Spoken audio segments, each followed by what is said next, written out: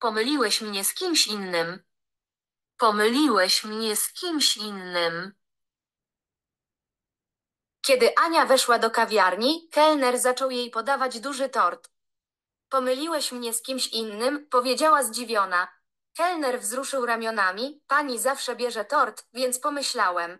Ania roześmiała się, bo rzeczywiście zawsze brała tort, ale dzisiaj była na diecie.